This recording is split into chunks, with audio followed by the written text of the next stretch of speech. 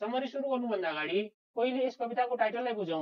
किनभने सुरुमा टाइटललाई राम्रोसँग बुझियो भने यसभित्र रहेको कविता बुझ्न धेरै गाह्रो हुँदैन। त्यसैले टाइटल रहेको छ अ डे। यसलाई नेपालीमा भन्नुपर्दा एक दिन भनिन्छ। अब यो कविता लेख्ने लेखकको बारेमा कुरा गरौँ। अ डे कवितालाई राइटर इमिली डिकिन्सनद्वारा लेखिएको हो। उनको पुरा नाम इमिली एलिजाबेथ डिकिन्सन हो। अब राइटरको बारेमा छोटकरीमा कुरा गरौँ है त। राइटर इमिली डिकिन्सनको राष्ट्रियता अमेरिकन रहेको छ। र उनको जन्म सन् अठार सय तिस डिसेम्बर महिनाको दस तारिक युनाइटेड स्टेटको एमरेस्ट भन्ने ठाउँमा भएको थियो र मृत्यु सन् अठार सय छ्यासी मे महिनाको पन्ध्र तारिकमा भएको थियो। राइटर इमिली डिकिन्सन नाइन्टिन सेन्चुरीतिरको एक प्रख्यात अमेरिकन पोइट हुन्। उनको जीवनकाल कस्तो थियो भने उनी एक्लै बस्न मन पराउने बाहिरको समाजसँग धेरै घुलमिल नहुने स्वभावको थिइन्। त्यसैले उनलाई धेरैले चिन्दैनथे तर उनले लेखेका कविताहरू एकदमै चर्चित थिए। अमेरिकाको साहित्य क्षेत्रमा इमिली डिकिन्सन एकदमै महत्वपूर्ण लेखकको रूपमा चिनिने गर्छिन्। र सत्रौँ शताब्दीतिर इङ्ल्यान्डमा जुन कविताहरू लेखिन्थ्यो त्यसबाट उनी एकदमै प्रभावित भएर उनले आफ्नो साहित्य क्षेत्रलाई अगाडि बढाएकी थिइन्। उनले लेखेका कविताहरू कस्तो किसिमका हुन्थे भने जीवनसँग सम्बन्धित मृत्यु जन्म माया प्रकृति यस्तै फिलोसफी टाइपको हुने गर्छन्। यस कवितालाई कसरी प्रस्तुत गरिएको छ भने दिनको सुरुवात हुँदा जसरी सनराइज हुन्छ र दिनको अन्त्य हुँदा सनसेटको कुरा गरिएको छ। कविताको अनुसार सनराइजलाई कसरी डिफाइन अथवा कसरी बुझ्न सकिन्छ भने सनराइज भइसकेपछि जसरी एउटा सुन्दर दिनको सुरुवात हुन्छ त्यसरी नै एउटा सानो बालकले जन्म लिइसकेपछि उसको जीवनको सुरुवात हुन्छ। खुसीका दिनहरू आउँछ भन्न खोजिएको छ। र सनसेट भन्नाले दिनको सुरुवात भइसकेपछि जसरी अन्त्य हुन्छ त्यसरी नै मान्छेको जीवनको अन्तिम क्षण अथवा मृत्युलाई भन्न खोजिएको छ। त्यसैले राइटरले यस कवितामा सनराइज र सनसेटको बारेमा कुरा गरेकी छिन् जसलाई हामीले मान्छेको जन्म र मृत्यु भनेर बुझ्न सक्छौँ। जसरी सनराइज हुँदा घामको किरणले दिनहरू उज्यालो हुन्छन् नयाँ दिनको सुरुवात हुन्छ खुसीका दिनहरू आउँछन्। त्यसरी नै राइटरले सनराइजलाई नयाँ जीवन अथवा जन्मसँग तुलना गरेकी छिन्। र सनसेट हुँदा जसरी दिन अस्ताउँछ जताततै अन्धकार हुन्छ त्यसरी नै सनसेटलाई मृत्यु जीवनको अन्त्यसँग तुलना गरिएको छ। हामीले सनराइज र सनसेटलाई सिम्बोलिकल्ली जीवन र मृत्यु भनेर पनि बुझ्न सक्छौँ। कविताको मिनिङ अथवा मूल भावपछि यस कवितामा भएको स्ट्यान्डा अनुसार कवितालाई सुरु गरौँ है त। यस कवितालाई दुईवटा भागमा विभाजन गरिएको छ। सुरुमा सनराइजको बारेमा कुरा गरिएको छ भने अन्त्यमा सनसेटको बारेमा कुरा गरिएको छ। कविताको पहिलो स्ट्यान्जा रहेको छ I will tell you how the sun rose a ribbon at a time the steeple swam in amethyst the news like squirrels ran पहिलो स्ट्यान्जाको पहिलो लाइनमा के भन्न खोजिएको छ भने यस कवितामा आई भनेर एउटा सानो बालकलाई भन्न खोजिएको छ। जसले यो कवितालाई स्पिकर अर्थात् वक्ताको रूपमा प्रस्तुत गरेको छ स्पिकरले कवितालाई कसरी सुरु गरेको छ भने म तिमीहरूलाई भन्ने छु सूर्य कसरी उदाउँछ कसरी राइज हुन्छ I will tell you how the sun rose घाम कसरी राइज हुन्छ कसरी घाम लाग्छ म तिमीहरू सबैलाई भन्ने छु भनेर स्पिकरले यहाँ भनिरहेको छ र अर्को लाइन रहेको छ a ribbon at a time कवितामा रिबन भनिएको छ रिबन भन्नाले बिहानको समयमा सूर्य उदाउँदा जसरी घामको किरणहरू चारैतिर छरपष्ट हुन्छन् ती घामका किरणहरूलाई रिबनसँग कम्पेयर गरिएको छ र यहाँ यस कविताको स्पिकरले भनेको छ जति बेला घाम उदाउँछ ती घामका जति पनि किरणहरू हुन्छन् ती किरणहरू रिबन जस्तै देखिन्छन्। बिहानको समयमा ढकमक्क घाम लाग्दा चारैतिर जसरी घामका किरणहरू फैलिन्छन् त्यो हेर्दा रिबन जस्तै देखिन्छ भनेर स्पिकरले भनिरहेको छ। र अब अर्को लाइन रहेको छ the steeple swam in amethyst steeples भनेको के हो भने ठुला ठुला घरहरूको माथिको जुन भाग हुन्छ चुच्चो परेको त्यसैलाई नै स्टिपल्स भनिन्छ अथवा हामीले मन्दिरमा जाँदा मन्दिरको माथिपट्टि भएको टुप्पो वा गजुर देख्छौँ हो त्यसलाई पनि स्टिपल्स भनिन्छ र अब एमिथिस्ट भनेको के हो भने पर्पल कलरको बहुमूल्य ढुङ्गा जसलाई ज्वेलरी बनाउन प्रयोग गरिन्छ। र जब बिहान पर्दा घामका किरणहरू मन्दिरको चर्चको अग्लो गजुर अथवा स्टिपल्समा पर्छन् त्यति बेला स्टिपल्सहरू एमिथिस जस्तो पर्पल कलरमा देखिन्छ भनिएको छ।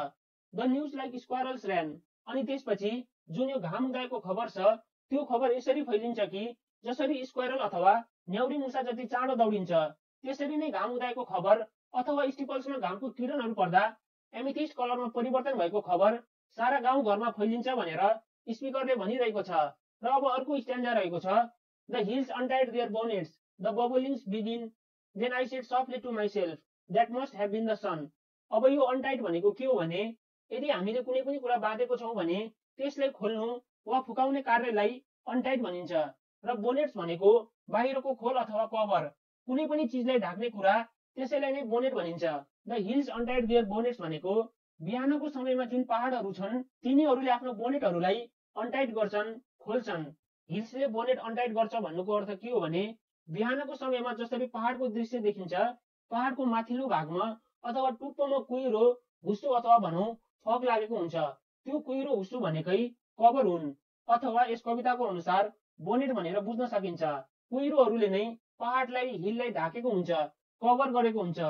यस कवितामा बोनेट भनेको कुहिरो हुस्सुलाई भन्न खोजिएको छ र जब बिहान पर्दै जान्छ पहाडको माथिल्लो भागमा लागेको कुहिरो हट्दै जान्छ हिलको बोनेट अन्टाइट हुँदै जान्छ अथवा घामको किरण देखिएपछि कुहिरो हट्दै जान्छ फाट्दै जान्छ अनि पहाडले आफ्नो वरिपरिको सुन्दर हरियाली दृश्य फिजाउँदै एउटा सुन्दर दिनको सुरुवात गर्छ र अर्को लाइन रहेको छ द बबुलिङ्स बिगन। बबुलिङ्स भनेको एउटा चराको नाम हो र अब बिहान भइसकेपछि घामका किरणहरू लागेका छन् र पहाडमा लागेको कुहिरो हुस्सु पनि हटिसकेको छ र बिहानको समयमा चराहरूले गीत गाउन थाल्छन्। एउटा नयाँ दिनको सुरुवात भएको सङ्केत दिन्छन्। Then I said softly to myself that must have been the sun त्यसपछि स्पिकरले के भन्छ भने अब म आफैले आफैले बिस्तारै भन्छु कि पक्कै पनि यो घाम उदाएको हुनुपर्छ। बिहान भएको सङ्केत हुनुपर्छ। पहाडको सुन्दर दृश्य र चराहरूले गीत गाउन थालेका छन् र अब बिहान भएको हुनुपर्छ भनेर स्पिकरले आफैले आफैले भनिरहेको छ। पहिलो र दोस्रो स्ट्यान्डा यही नै थियो जस अन्तर्गत सनराइज अर्थात् नयाँ जीवनको कुरा गरिएको छ। सिम्बोलिक भाषामा पहिलो दुईवटा स्ट्यान्डाबाट हामीले के बुझ्न सक्छौँ भने सनराइज भएको छ भन्नुको अर्थ घाम उदाएको छ। एउटा सुन्दर बिहानी सुन्दर दिनको सुरुवात भएको छ। यसले के बुझाउँछ भने जसरी घाम उदाउँदा दिनको सुरुवात हुन्छ त्यसरी नै मान्छेको जन्म भइसकेपछि उसको जीवनको यात्रा सुरु हुन्छ र एउटा सुन्दर खुसी र सुखी जीवनको लागि गरिने सङ्घर्षको यात्रा सुरु हुन्छ। पहिलो र दोस्रो स्ट्यान्डाबाट हामीले यही बुझ्न सक्छौँ। अब कवितामा भएको थर्ड स्ट्यान्डाको कुरा गरौँ। थर्ड स्ट्यान्डामा सनसेटको कुरा गरिएको छ। But how he set I know not there seemed a purple stile which little yellow boys and girls were climbing all the while यो स्ट्यान्डामा पनि धेरै जसो सिम्बोलिक मिनिङहरू रहेका छन्। त्यसले राम्रोसँग बुझ्यो भने कवितामा भएका हरेक लाइनले के भन्न खोजेको छ भनेर सजिलै बुझ्न सक्छौँ। But how he said I know not अब स्पिकरले के भनेको छ भने तर मलाई थाहा छैन घाम कसरी अस्ताउँछ सनसेट कसरी हुन्छ भनेर। यहाँनिर यस कविताको स्पिकर अर्थात् सानो इनोसेन्ट बालक कन्फिडेन्टलेस भएको देखिन्छ। किनभने उसले भनिरहेको छ कि मलाई थाहा छैन घाम कसरी अस्ताउँछ कसरी डुब्छ भनेर। सनराइज हुने बेला स्पिकरले एकदमै कन्फिडेन्टका साथ भनिरहेको हुन्छ कि बिहानको समयमा घाम कसरी उदाउँछ? घामका किरणहरू कस्ता हुन्छन् कस्ता देखिन्छन् भनेर। तर सनसेट हुने बेला कस्तो दृश्य हुन्छ कसरी अस्ताउँछ यो बारे मलाई केही पनि थाहा छैन भनेर अलिक कन्फिडेन्ट कम भएको जस्तो देखिन्छ। त्यसपछि स्पिकरले के भन्छ भने देयर सिम र पर्पल स्टाइल स्टाइल भनेको के हो भने गाउँघरमा वा भित्तामा चढ्नको लागि राखिएको भर्याङ वा सिँढी हो। र अब सनसेट हुने बेला भइसकेको छ साँझको समय भएको छ। त्यो बेला के हुन्छ भने पर्पल कलरको स्टाइल देखिन्छ अथवा घामका किरणहरू परिवर्तन भएर पर्पल कलरको देखिन्छ। Which stile yellow boys and girls were climbing all the wild अब साना साना केटाकेटीहरू छन् घाम अस्ताउँदै गर्दा त्यसको पहिलो प्रकाश साना साना केटाकेटीहरूको शरीरमा परेको छ जसले गर्दा केटाकेटीहरूलाई पहिलो देखाएको छ। र उनीहरू पर्पल कलरको स्ट्यालको मद्दतले अगाडि गइरहेका छन्। कविताको थर्ड स्ट्यान्डले के भन्न खोजेको छ भने सनसेट अथवा सूर्यास्त भनेर हामीले मृत्युलाई बुझ्न सक्छौँ। त्यस्तै गरेर साना साना केटाकेटीहरू पहिलो रङका देखिएका छन् भन्नाले यसले के जनाउँछ भने मान्छेको उमेर वा उसको बुढो अवस्थालाई बुझाउँछ। र पर्पल स्टाइलमा चढेको छन् भन्नाले मान्छेको जीवनको सुरुवाती समयदेखि जीवनको अन्तिम क्षणसम्मको यात्रा गरेको भन्ने बुझिन्छ र त्यो पर्पल स्टाइल भनेको घामको किरणहरू हो।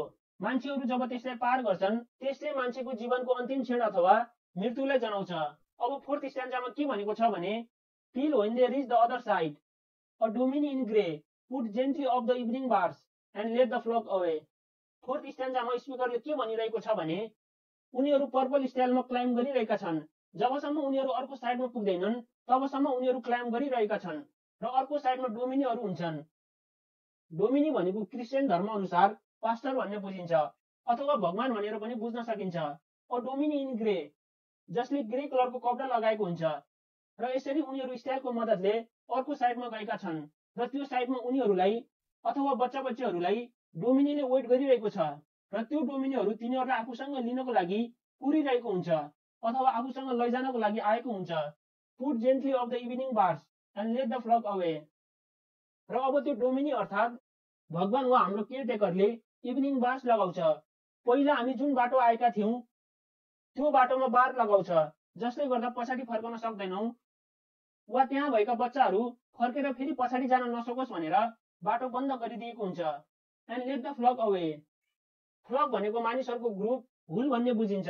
र त्यो जुन बच्चा बच्चीको ग्रुप थियो अथवा मान्छेको भिड हुन्छ अब डोमिनीले बार लगाइदिइसकेपछि ती बच्चा बच्चीहरूलाई त्यहाँबाट टाढा लगेर जान्छ।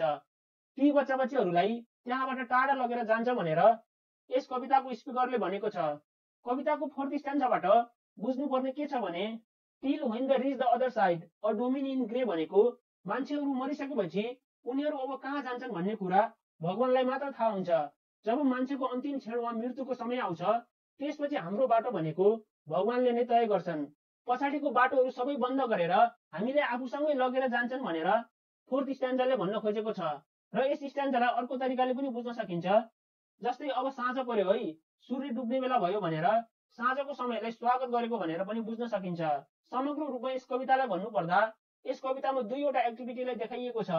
सनराइज र सनसेट राइटरले सनराइज भनेर बर्थसँग कम्पेयर गरेकी छिन्। सूर्य उदाउनु भनेर मानिसको जन्म भइसकेपछि उसको सुन्दर जीवनको सुरुवातसँग तुलना गरिएको छ र अर्को सनसेटको पनि कुरा गरिएको छ। जसरी घाम अस्ताउँदा दिनको अन्त्य हुन्छ त्यसरी नै मानिसको जीवनको अन्त्य समय वा मृत्युको समयलाई सनसेटसँग तुलना गरिएको छ। कवितामा बुझ्नुपर्ने कुरा सनराइज र सनसेट रहेको छ। यस कविताको अनुसार त्यो भनेको जन्म र मृत्यु हो। अडे कविताको समरी यति नै रहेको छ। कविता कस्तो लाग्यो? जस्तो लाग्यो त्यस्तै कमेन्ट गर्न नबिर्सनु होला र यस्तै समरी हेर्नको लागि च्यानललाई सब्सक्राइब गरेर जोडिनु होला भन्दै आजलाई भिडियो यति नै। हस्त धन्यवाद